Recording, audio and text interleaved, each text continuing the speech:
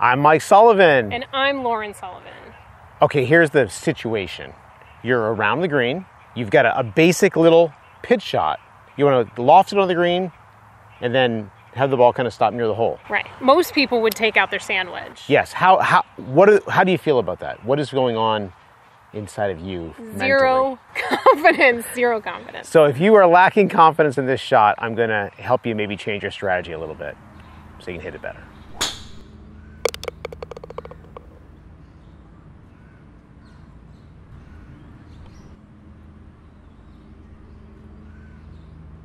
All right, is this the shot?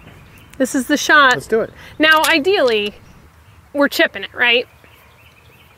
You could putt this. Yeah, you so could putt depending on your skill level, putting might be a great option here. So let's say, for argument's sake, there's some sort of impediment in the way that we need to get over. Yeah. Or, you know, you want to play a little higher skilled shot and carry the ball on the green. So right? most people, most recreational golfers are going to pull out a sand wedge, or here we've got a 56 degree wedge, Yep.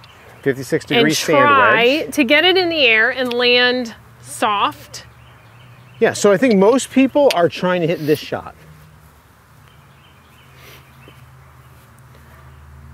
Should take my time with that more. But, But in order to do that, we've got to really accelerate through the shot. We've got to hit it pretty fast. We've got to put a lot of energy into it in order to get it up high. yeah, enough. you have to use more speed and energy to get the ball up.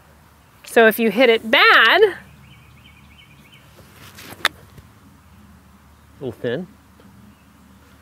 I was I made sure nobody was standing over there. Good, okay.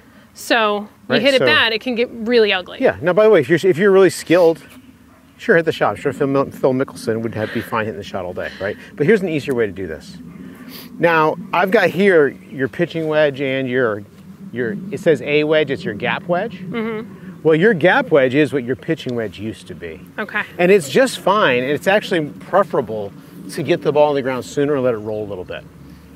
So just go ahead uh, and hit a little pitch shot here using your A wedge, and it's just, it's just gonna run out a little bit. Yeah.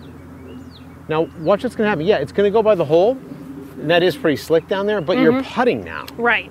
So the idea here is that we want to have our misses be way better. Mm-hmm. And if you miss that, like if you just go ahead and hit a shot, don't pay much attention to it, and see if we get a little miss out of this.